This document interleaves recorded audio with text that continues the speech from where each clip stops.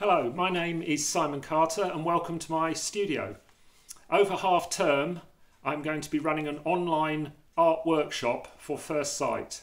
The workshop will take place over three days and there will be a 90 minute session each day via Zoom. Uh, day one, we will look at drawing. We will do some drawing exercises. We will look at observational drawing and we will look at the kind of drawings you can make that will lead you into painting. Day two, we will look at the materials of painting.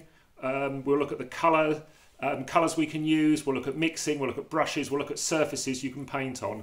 And we will also begin to make a painting.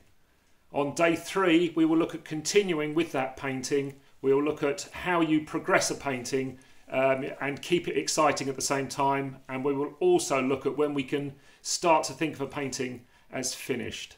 If you would like to join the workshop, you can sign up on Firstsite's website. Um, so if you'd like to do that, I will look forward to seeing you virtually in my studio over half term. Thank you.